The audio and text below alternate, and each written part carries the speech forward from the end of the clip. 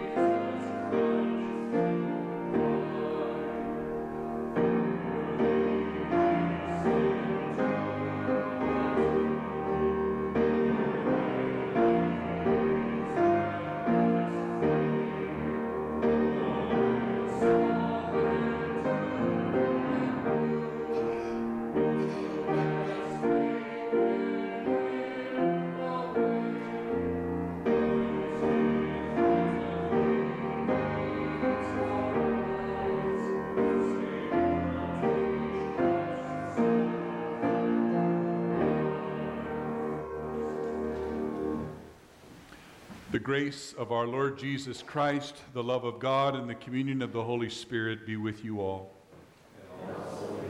Let us pray. Eternal God, in the sharing of a meal, your Son established a new covenant for all people. And in the washing of feet, he showed us the dignity of service. Grant that by the power of your Holy Spirit, these signs of our life and faith may speak again to our hearts feed our spirits, and refresh our bodies through Jesus Christ, our Savior and Lord, who lives and reigns with you in the Holy Spirit, one God, now and forever. Amen.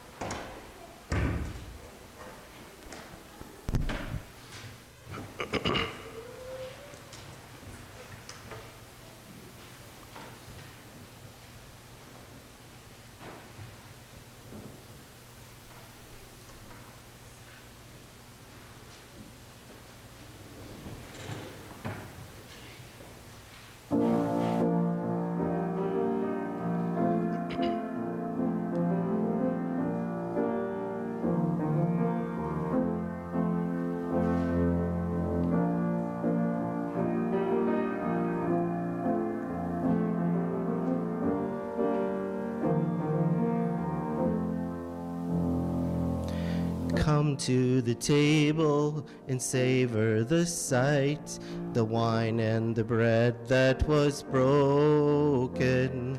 And all have been welcomed to come if they might, accept as their own these two tokens.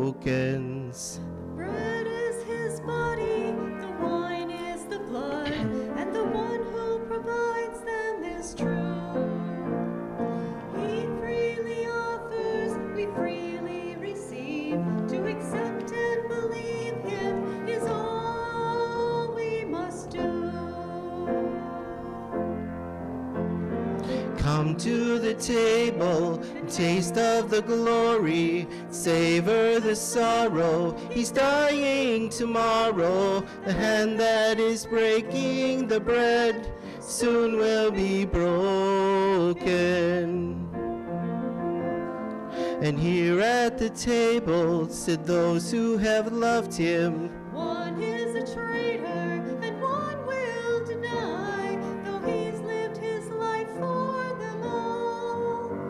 and for all be crucified.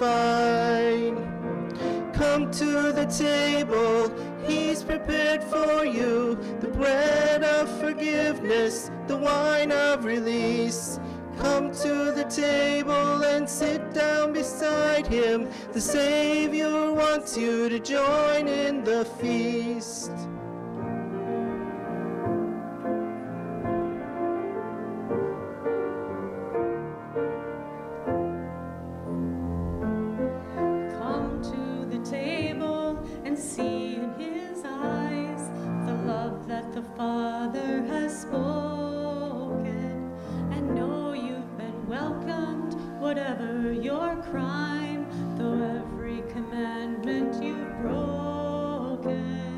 For he's come to love you and not to condemn, and he offers a pardon a peace. If you'll come to the table, you'll feel in your heart the greatest forgiveness, the greatest release. Come to the table and taste of the glory and savor the sorrow. He's dying tomorrow. The hand that is breaking the bread soon will be broken.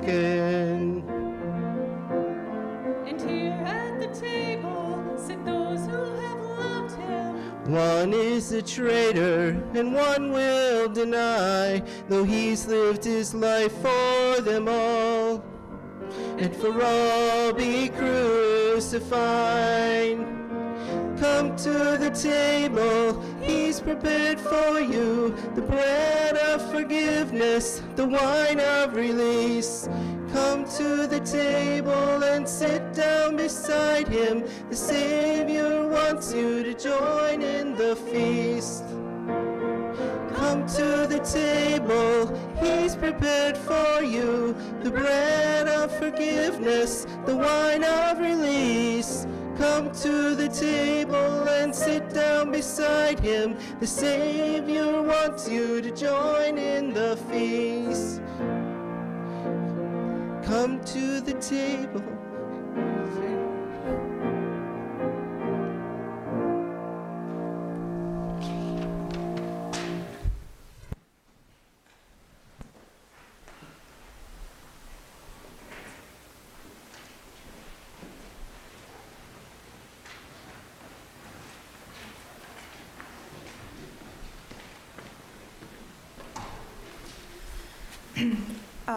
From Exodus chapter 12, verses 1 through 4 and 11 through 14. The Lord said to Moses and Aaron in the land of Egypt, This month shall mark for you the beginning of the months. It shall be the first month of the year for you. Tell the whole congregation of Israel that the tenth of this month they are to take a lamb for each family member, a lamb for each household. If a household is too small for a whole lamb, it shall join its closest neighbor in obtaining one. The lamb shall be divided in proportion to the number of people who eat it. This is how you shall eat it your loins girded, your sandals on your feet, and your staff in your hand. And you shall eat it hurr- hurriedly. It is the Passover of the Lord. For I will pass through the land of Egypt that night, and I will take strike down every firstborn in the land of Egypt, both human beings and animals and all the gods of Egypt I will execute judgments. I am the Lord. The blood shall be a sign for you on the houses where you live. When I see the blood, I will pass over you, and no plague shall destroy you when I strike the land of Egypt. This day shall be the day of remembrance for you. You shall celebrate it as a festival to the Lord. Throughout your generations, you shall observe it as a perpetuous, perpetual or ordain, ordain, ordinance, sorry.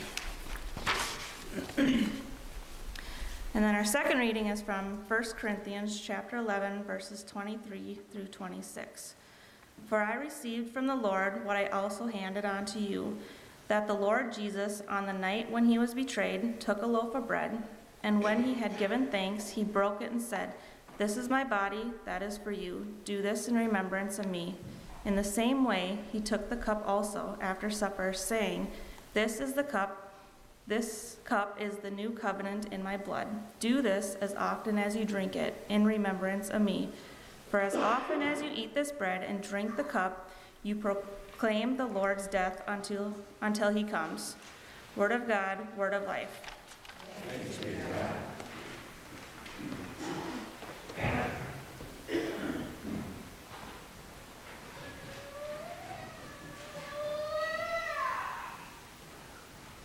Thank you, Marcia.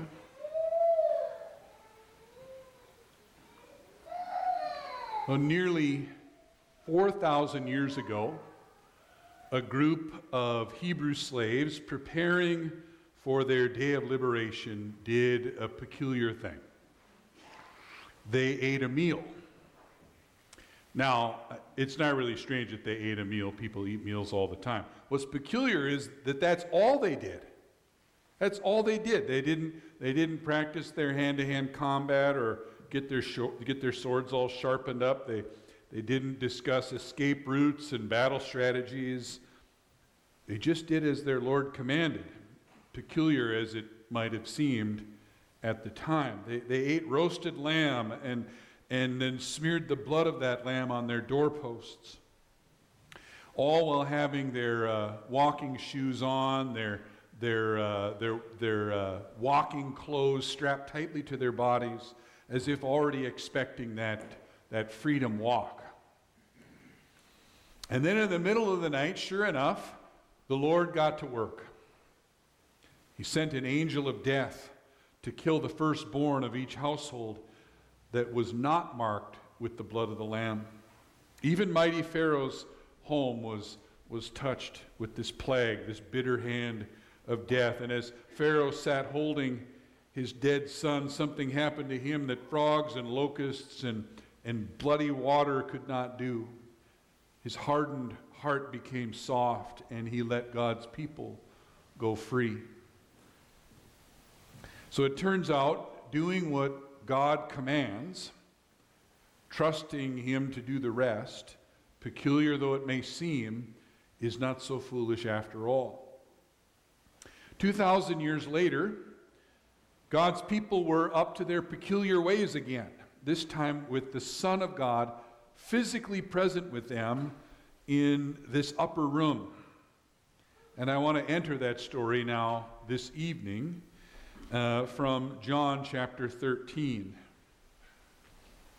Now, before the festival of the Passover, Jesus knew that his hour had come to depart from this world and go to the Father.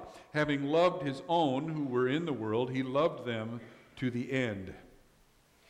The devil had already put it into the heart of Judas, son of Simon Iscariot, to betray him. And during supper, Jesus, knowing all that the Father, knowing that the Father had given all things into his hands, and that he had come from God and was going to God, got up from the table, took off his outer robe, tied a towel around himself. Then he poured water into a basin and began to wash the disciples' feet and to wipe them with the towel that was tied around him. He came to Simon Peter, who said to him, Lord, are you going to wash my feet? Jesus answered, You do not know now what I am doing, but later you will understand. Peter said to him, You will never wash my feet. Jesus answered, Unless I wash you, you have no share with me. Simon Peter said to him, Lord, not my feet only, but also my hands and my head. Jesus said to him, One who is bathed does not need to wash except for the feet, but is entirely clean. And you are clean, though not all of you. For he knew who was to betray him. For this reason he said, Not all of you are clean. After he had washed their feet, had put on his robe, and had returned to the table, he said to them, Do you know what I have done for you? You call me teacher and Lord, and you are right for that is what I am. So if I, your Lord and teacher, have washed your feet, you also ought to wash one another's feet. For I have set you an example that you should do as I have done to you. Very truly I tell you, servants are not greater than their master, nor are messengers greater than the one who sent them. If you know these things, you are blessed if you do them. Now the Son of Man has been glorified, and God has been glorified in him. If God has been glorified in him, God will also glorify him in himself, and will glorify him at once. Little children, I am with you only a little longer. You will look for me, and as I said to the Jews, so now I say to you, where I am going, you cannot come. I give you a new commandment that you love one another, just as I have loved you, you should love one another. By this, everyone will know that you are my disciples if you have love for one another. Word of God, word of life. Thanks be to God. So here are Jesus and his disciples in an upper room in Jerusalem. It's the eve of his arrest and death. Just his arrest is just hours away, his death will come the following day. And surely Jesus knew that, that not only was his life span short, the time remaining for him was short. He not only knew that, but he knew that life was really going to change for his followers from this evening forward. It was going to get messy, as an understatement. Surely Jesus knew that his followers would be treated just as harshly as he would be in the coming days. He knew, he knew that evil would run rampant in the coming centuries, wreaking havoc on all, but especially those who followed him. And yet, in these precious few moments that he has left on earth, these waning moments of Jesus' life, he does not give instructions on how to restrain evil through preemptive strikes give them tips on how to take back their country by force. He, he doesn't give his followers uh, fencing lessons or advice on how to best escape from the hands of those who wish to persecute. What does he do with this precious time he has left? He shares a meal with them, he washes their feet, and tells them to do the same. The act of a teacher washing the feet of his students is odd enough, but it's even stranger that this is, this is his last night before his brutal death. And it's downright crazy, I tell you, the way that he washes and eats with Judas, too. Even Judas, the one Jesus knows full well is going to betray him, is not passed over by this reckless love, the humble service of our Lord. It's clear, it's clear from the text that the light of Christ simply blinds poor Judas, doesn't sink in, but the love and service of Jesus is there nonetheless. And then he says these words just as I have loved you, you also should love one another. And with these words, Jesus tells his followers not just how they ought to treat one another, but how to treat the rest of the world too, in the same loving, humble way.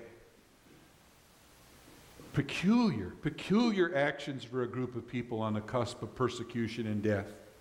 Peculiar actions for the Son of God on the eve of his crucifixion.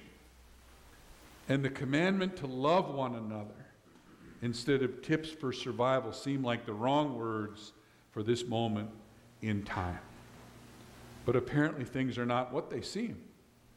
This amazing God of ours takes what seems to be evil's greatest triumph and turns it into the salvation of the world. Right? Satan thought he'd pulled off this great upset victory, right? This March Madness, and it's all about upsets. And, and uh, you know, Satan thinks pulled off a great upset. It's like a 13 over a, over a four seed kind of thing. It wasn't, wasn't how that was, right? God took away all of death's power by raising up from death his son, our Lord Jesus. Right?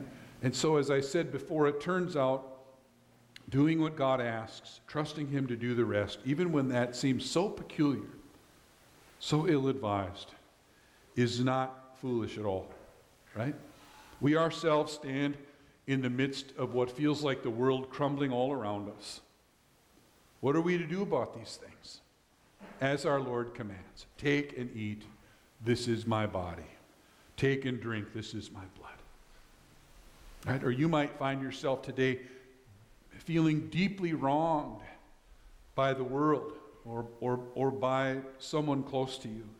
And, as you gather uh, this evening, right, you feel that brokenness. And yet, the word we have from our God isn't hang in there because the people who are wronging you, they're going to get their comeuppance. That's not the word our Lord says. He says, Your sins are forgiven. What are we to say about such things? Then the commandment we have to love one another. The same commandment Jesus gave his disciples all those many years ago. It's our commandment too. Our Lord speaks it to us anew this evening. It's a peculiar set of instructions because how is loving one another going to do anything? But tonight, my friends, let's trust our Lord. Let's lean in to that audacious command. Trust that we, we really can change the world by looking at each situation we encounter and asking, How is God calling me to love like Jesus in this moment? What of myself can I sacrifice here to serve the needs of my neighbors near and far in new and radical ways.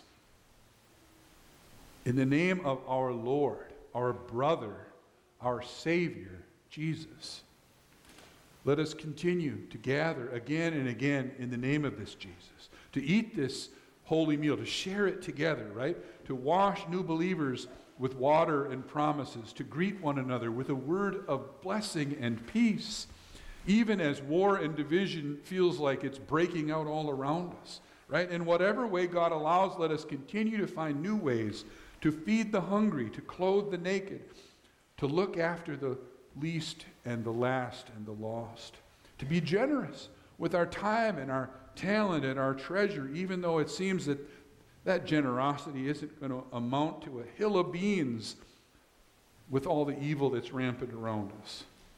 Right? And, we'll do it not because we're foolish optimists, hmm? but because we follow this God who has a history of delivering on far fetched promises.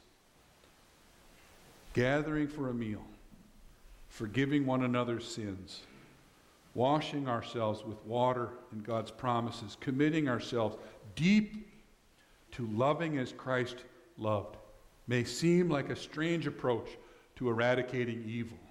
But given this God's past track record, I would not bet against him. Let us trust in God, immerse ourselves in his forgiveness, seek to love one another through our words and deeds, and trust in God to deliver us from evil. Let it be so in the name of Christ. Amen. Our hymn is uh, 494 in your hymnals. We'll also gather an offering at this time.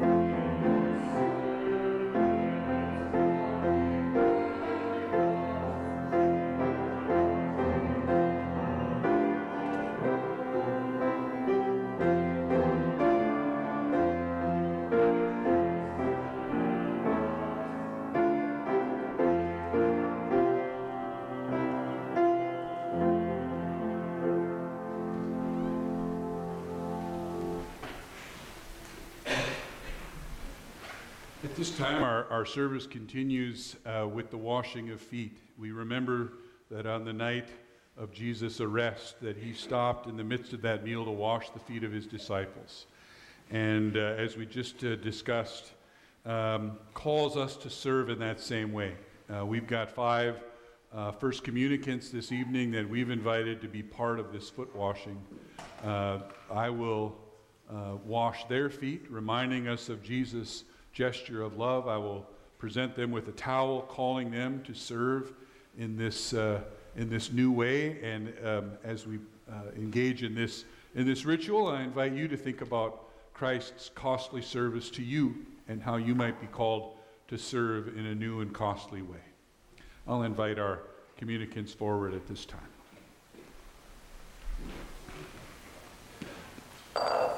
Seat, Bentley.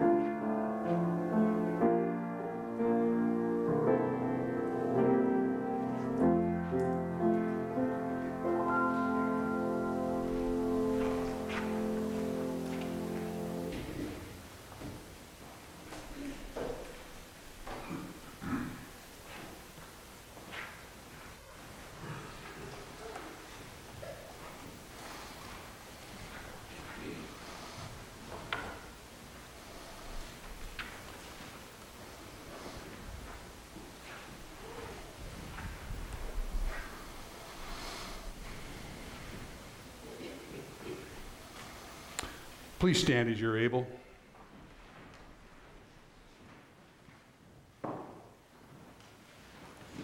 And let us pray for the renewed life of the church, for abundant hope in the world, and for holy compassion for those who are in need. Holy and merciful God, gather your people around one heavenly food in the body and blood of Christ. Unite us with Christ that we may show his love to the world. Lord, in your mercy. Draw forth from the earth grain and fruit that nourishes the body. And in our eating and drinking, remind us of your goodness and Christ's sacrifice for us.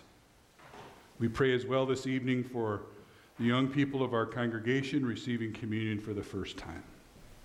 Lord, in your mercy. Free all who are in bondage as you did for your enslaved people 4,000 years ago. Free us all from the bondage of sin through the new covenant of Christ's blood. Lord, in your mercy. Accompany us, sisters and brothers of Christ, through this great celebration of his death and resurrection, encouraging us to bear that same Jesus Christ to a world in need. Lord, in your mercy. Teach us by the witness of those who faithfully confessed Christ crucified um, and risen for the salvation of the world. Call us to follow you as they did. Lord, in your mercy. Into your hands, O God, we commend all for whom we pray in the name of the one who endured the cross, forgives our sins, and feeds us at his table, Jesus Christ our Lord. Amen. The peace of the Lord be with you always. Please share that peace with one another, dear friends.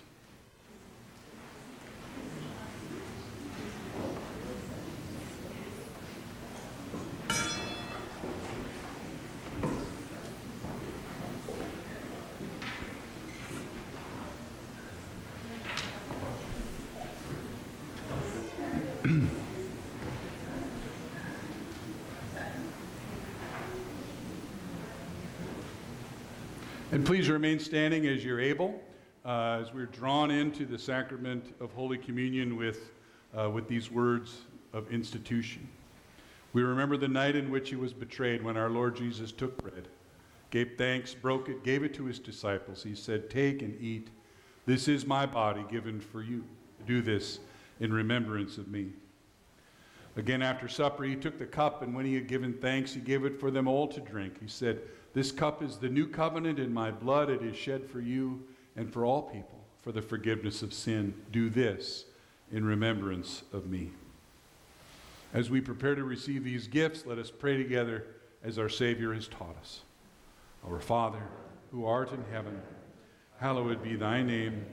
Thy kingdom come, thy will be done, on earth as it is in heaven. Give us this day our daily bread and forgive us our trespasses as we forgive those who trespass against us. And lead us not into temptation, but deliver us from evil. For thine is the kingdom, and the power, and the glory, forever and ever. Amen. Please be seated. Our service will continue with the distribution of Holy Communion, uh, which will be here at our altar rail. And I'll have the ushers come forward and close the rail. As they're doing that, I'll give a few more instructions. Uh, first of all, it's important for us at Immanuel to say that we welcome to the table this evening all who desire our Lord Jesus Christ. You do not have to be a member of this congregation. Uh, all who desire Christ Jesus are welcome at his table this evening. Um, the way that we will commune this evening, as I said, is at the rail. And so, as the ushers direct you, we're going to serve uh, the piano side here first, and then uh, the organ side. So if you're coming up from this side when the ushers direct you forward, fill the rail all the way from this far side, all the way across. Uh, and if you're communing with your family tonight, it's okay to wait until the next table so you can all eat together. We, we want that to happen this evening, especially for our first communicants and their families. And then I want you to stay at the, at the rail, kneeling as you're able. If standing is a, a preferred posture, that's fine too. You'll receive a wafer hearing the words, the body of Christ given for you. Uh, if you need a gluten free wafer, ask for it. I'll have those with me in the tray. Uh, you can take your own gluten free wafer. Um, A second server will come with a tray of wine, which is the darker liquid, or if you prefer white grape juice, the lighter colored liquid. Uh, hearing the words, the blood of Christ shed for you, and then a, a third server will be there with an empty basket for your um, glasses. But stay kneeling. Uh, we're going to serve by complete tables this evening, and then uh, I will uh, uh, bless you and send you back to your seats um, along the side aisles. Um, and uh, that is how we'll commune this evening. Again, so with those words of instruction and welcome, come as you are directed, for all is ready and all are welcome.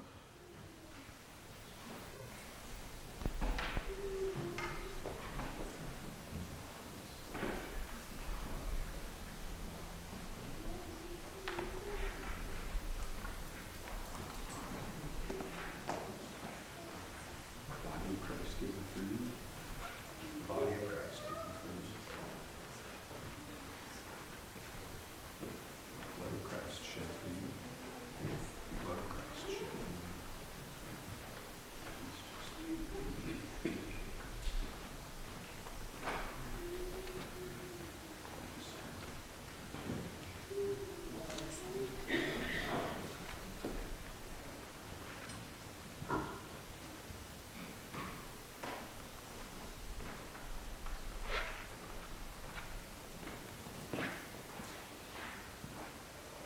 Body of Christ given for you. Body of Christ given for you. Body of Christ given for you. Body of Christ given for you. Body of Christ given for you. Body of Christ given for you. The body of Christ given for you. Pray the body of Christ given for you. Our Lord Jesus Christ bless you now and forever. The body of Christ given for you. The body of Christ given for you. The body of Christ given for you. The body of Christ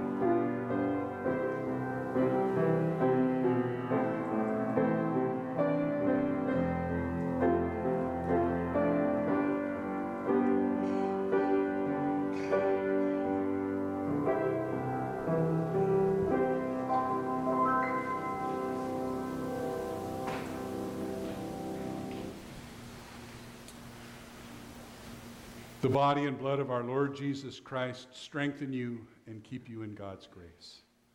Amen. Let us pray. God of abundance, with this bread of life and cup of salvation, you have united us with Christ. You have made us one with all your people. We pray that you would send us forth in the power of your Spirit that we may proclaim your redeeming love to the world and continue forever in the risen life of Jesus Christ our Lord. Amen. Our service concludes this evening with the stripping of the altar as Psalm 22 is read. These, uh, these words and actions rehearse uh, many of the scenes that will unfold for Jesus in the hours ahead.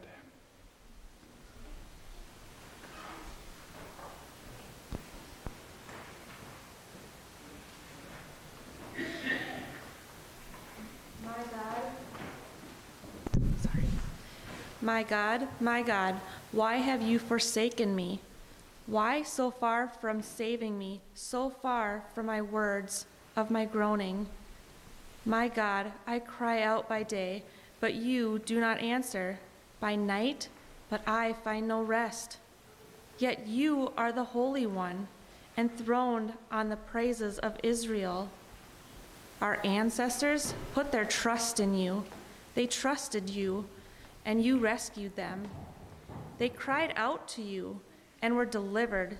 They trusted in you and were not put to shame.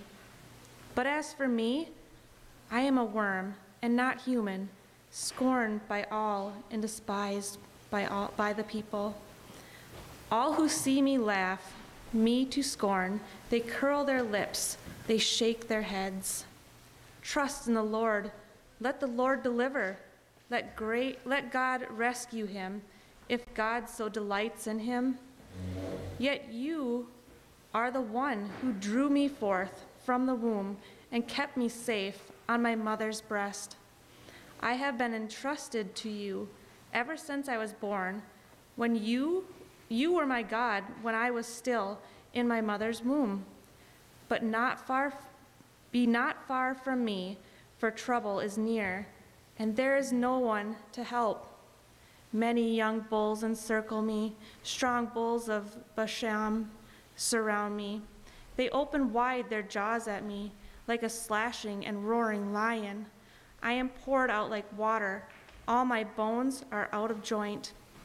My heart within my breast is melting wax. My strength is dried up like a potsherd. My tongue sticks to the roof of my mouth, and you have laid me in the dust of death. Packs of dogs close, close me in. A band of evildoers circles round me. They pierce my hands and my feet. I can count all my bones while they stare at me and gloat. They divide my garments among them. For my clothing, they cast lots. But you, O Lord, be not far away.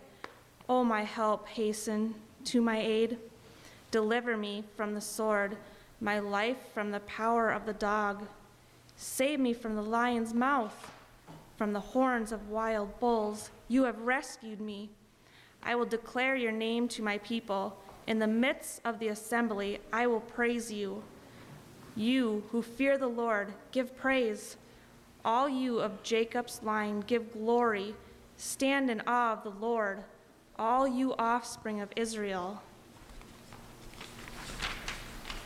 For the Lord does not despise nor abhor the poor in their poverty, neither is the Lord's face hidden from them. But when they cry out, the Lord hears them. From you comes my praise in the great assembly. I will perform my vows in the sight of those who fear the Lord. The poor shall eat and be satisfied. Let those who seek the Lord give praise. May your hearts live forever. All the ends of the earth shall remember and turn to the Lord. All the families of nations shall bow before God. For dominion belongs to the Lord, who rules over the nations. Indeed, all who sleep in the earth shall bow down in worship. All who go down to the dust, through they be dead, shall kneel before the Lord. Their descendants shall serve the Lord, whom they shall proclaim to generations to come. They shall proclaim God's deliverance to a people yet unborn, saying to them, The Lord has acted,